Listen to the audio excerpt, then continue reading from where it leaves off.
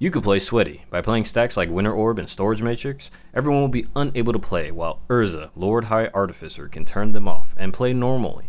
While your stax pieces control the game and your blue spells protecting them, you can easily win how you want. Or you could play simple.